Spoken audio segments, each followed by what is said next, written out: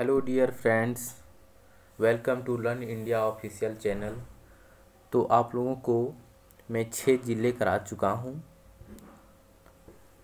और मैं आगे कराऊँगा। ये झारखंड की वस्तुनिष्ठ मतलब ऑब्जेक्टिव क्वेश्चन आंसर करा रहा हूँ। चलिए आगे चलते हैं। ये मेरा बुक है, इसी से मैं पूरा कंप्लीट करा रहा हूँ। आप लोगों से रिक्वेस्ट है कि मेरे इस चैनल को सब्सक्राइब करें दोस्तों,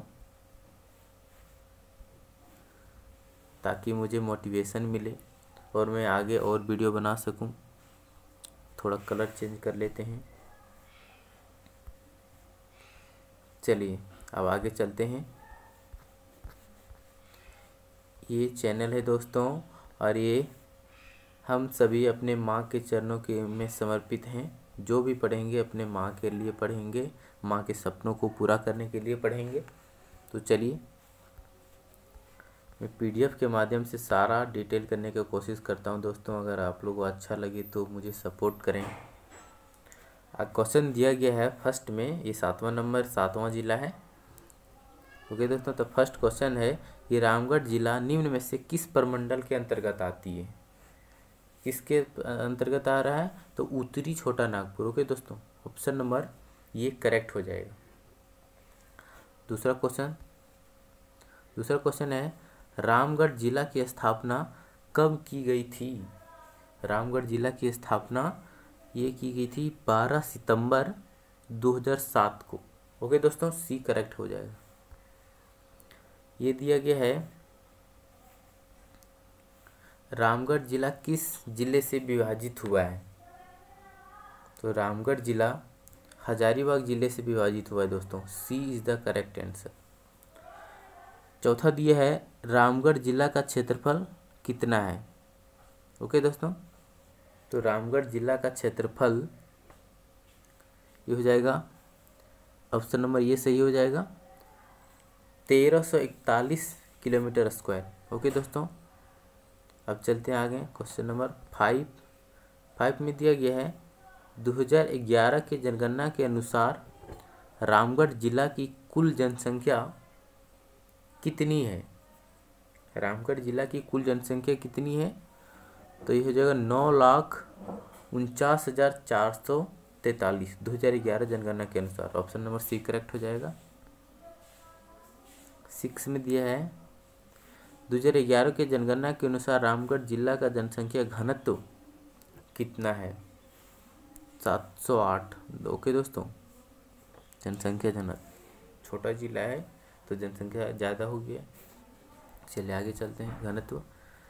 अब आगे दिया है, दो हज़ार ग्यारह के जनगणना के अनुसार रामगढ़ जिला का लिंगानुपात क्या है? रामगढ़ जिला का लिंगानुपात नौ सौ इकतालीस। B is the correct answer at number में दिया गया है, दो हज़ार ग्यारह के जनगणना के अनुसार रामगढ़ ज़िले की साक्षरता दर क्या है? रामगढ़ जिला की साक्षरता दर क्या है? ओके दोस्तों तो इसका हो जाएगा ऑप्शन नंबर ये seventy three point one seven percent. Ranchi का हद तक है, सेवेंटी सिक्स पॉइंट कुछ है और ये सेवेंटी थ्री है। अच्छी बात है। अब क्वेश्चन नंबर नाइन चलते हैं। नाइन में दिया रामगढ़ जिला के अंतर्गत कुल कितने अनुमंडल हैं? रामगढ़ जिला में कुल एक अनुमंडल है। ओके दोस्तों, ये is the correct answer question number ten चलते हैं। टेन में दिया गया है कि रामगढ़ जिला के अंतर्गत कुल कितने प्रखंड हैं? रामगढ़ जिला में कुल छः प्रखंड हैं। ओके दोस्तों सी करेक्ट हो जाएगी। ओके दोस्तों सी करेक्ट हो जाएगा। आगे चलते हैं क्वेश्चन नंबर इलेवन इलेवन में दिया गया है, रामगढ़ जिला के अंतर्गत कुल कितने विधानसभा क्षेत्र हैं? रामगढ़ जिला के अंतर्गत कुल कितने विधानसभा क्षेत्र हैं? तो ग्यारह का बी हो जाएगा। दो विधानसभा क्षेत्र हैं। ओके दोस्तों, आप लोग हमेशा प्रैक्टिस करते रहें इसे। एक बार एक बार में अगर वीडियो नहीं याद हुआ तो दो बार देखें। दो बार में कन्फर्म है कि याद हो जाएगी। ओके दोस्तों आगे चलते हैं।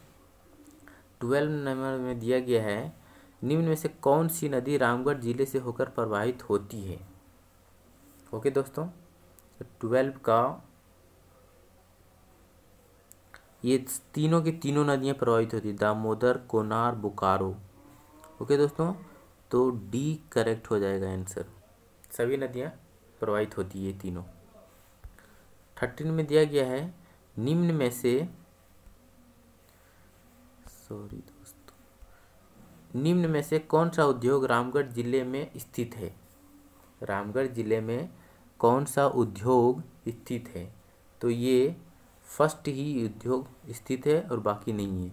ओके दोस्तों, इंडो असाइल ग्लास फैक्ट्री। ये ग्लास का फैक्ट्री जो है वो रामगढ़ ज़िले में स्थित है और ये लाह अनुसंधान रांची में है। भारी इंजीनियरिंग, आई थिंक, रांची ही है। ओके दोस्तों, इसीलिए क्वेश्चन नंबर थर्टीन का ये करेक्ट हो जाएगा। और ये फोर्टीन है। फोर्टीन का क्वेश्चन है कि इनमें से कौन सा जलप्रपात रामगढ़ ज़िले में है? तो रामगढ़ ज़िले में राजरप्पा जलप्रपात है। ओके दोस्तों C is the correct answer ये पंद्रह नंबर है। प्रसिद्ध माँ छन्नमस्तिका मंदिर। प्रसिद्ध माँ छिन्नमस्तिका मंदिर रामगढ़ ज़िले के किस स्थान पर अवस्थित है? ओके दोस्तों तो ये पंद्रह का सी हो जाएगा रजरप्पा। सी करेक्ट होगा। और ये लास्ट क्वेश्चन है कि रामगढ़ झारखंड राज्य में न्यूनतम क्षेत्रफल वाला जिला इनमें से कौन सा है? सबसे ज़्यादा मतलब सबसे कम क्षेत्रफल किस ज़िले की है? तो ये हो जाएगा रामगढ़। ओके दोस्तों, बताए थे कि कम क्षेत्रफल इसीलिए इसकी जनसंख्या घनत्व ज़्यादा है।